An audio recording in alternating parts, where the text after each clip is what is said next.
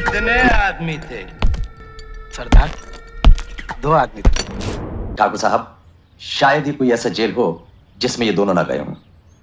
ये वीरू है और ये जयदेव।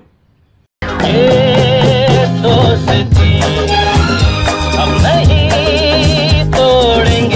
दोनों के दोनों पक्के बदमाश एक नंबर के चोर छठे हुए गुंडे हैं। मुझे तो सब पुलिस वालों की सूरतें एक जैसी लगती हैं। मुझे गब्बर चाहिए? ज़िंदा गब्बर सिंह वो मशहूर डाकू।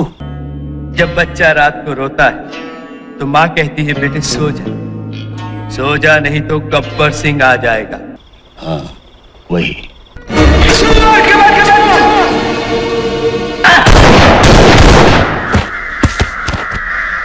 मुझे सिर्फ़ गब्बर चाहिए? जो डर गया समझो मर गया। कोई पुरानी दुश्मनी? ये पूछना तुम्हारा काम नहीं। लोहा गर्म है। मार दो हथोड़ा साहब अभी भी वक्त है। सोच लीजिए।